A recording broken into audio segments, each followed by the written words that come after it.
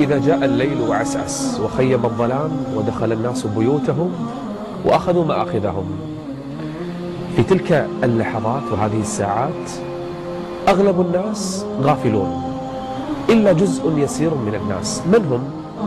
يقول النبي صلى الله عليه وآله وسلم من قام أي صلى الليل بعشر آيات لم يكتب من الغافلين. رفع اسمه من سجل الغفلة بشرط أن يقوم الليل بعشر آيات. عشر آيات ولا شيء. قصار السور يصلي ركعتين رفع اسمه من سجل الغفلة. لم يكتب من الغافلين. طيب لو طول شوي وقام بمئة آية كتب من القانتين يا الله. طيب ومن قام بألف آية؟ هؤلاء الخلص. كتب من المقنطرين.